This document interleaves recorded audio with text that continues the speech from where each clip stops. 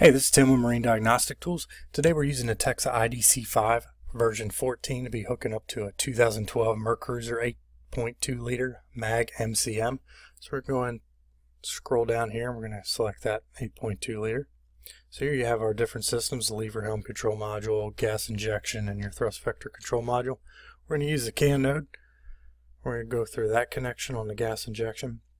You'll see our cables AM01 CAN plus the AM25. We're going to hook that up to the Terminator. Terminator's usually going to have a yellow or a red cap that says Terminator on it. We're going to go on through that way. So right here, we're going to go ahead and log in, make sure our ignition is on, hit confirm, and the system's going to scan. It's going to take a couple minutes. Our first page is going to pop up as a fault code. You'll see that 976. We'll double click on that. That's going to give you that code 237. If you go through our knowledge base that we have on the laptops, that's going to tell you it's an ex excessive knock detector. Um, so we'll go ahead and go into the parameters here and we'll show you the throttle position. We're going to go ahead and adjust that. Let you see that graphed out. Okay. We'll just scroll down so you can see the other parameters. There's 93 of them. There's a ton of them on here. So we'll just scroll real real quick so you guys can see what's going on, what, what software has to offer.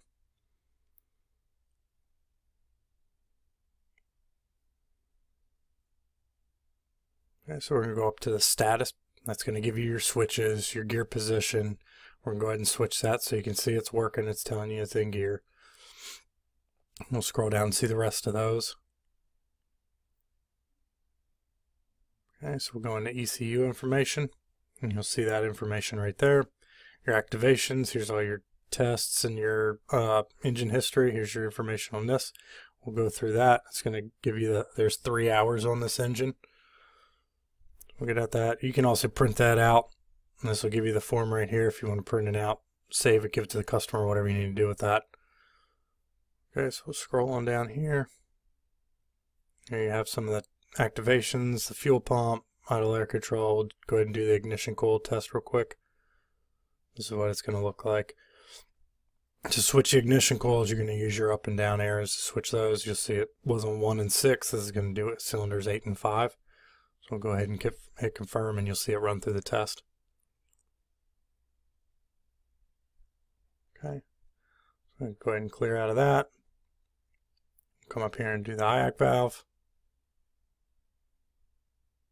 And you'll see that percentage up. You'll hear that IAC valve vibrating, buzzing, whatever you want to call it. That. Here's your settings, your engine location, instrument configuration, trim adjustment. We're going to go over here to your technical docs. There's your wiring diagrams. If you double click on that wire, that's going to tell you that circuit. Um, you can also hit that little icon right there, and that's going to tell you on the left-hand side what, what is related to that circuit where those dotted lines are running. And close out of that, just hit that again. So you'll see the information here. If you click on that icon or that part, it'll give you an image and then it'll give you the information on there. That's your injector. And go to the next page, show you those. So there's your knock sensor. Go up to the image, there's your image. And then you have your card information. There's your operating principle identification elements, other characteristics, connection tests, and information on that. Okay, your vehicle sheets is going to give you some connectors.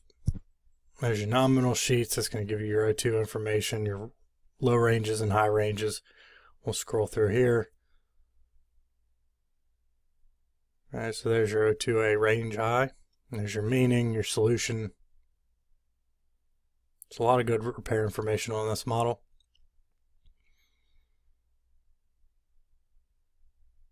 Right, so there's a ton of it on this this model here.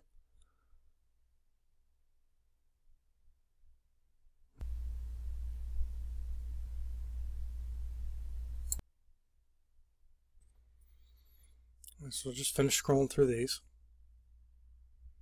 Okay, so this is a 2012 Mercruiser 8.2 Mag MCM. This is Tim with Marine Diagnostic Tools. Thanks for watching.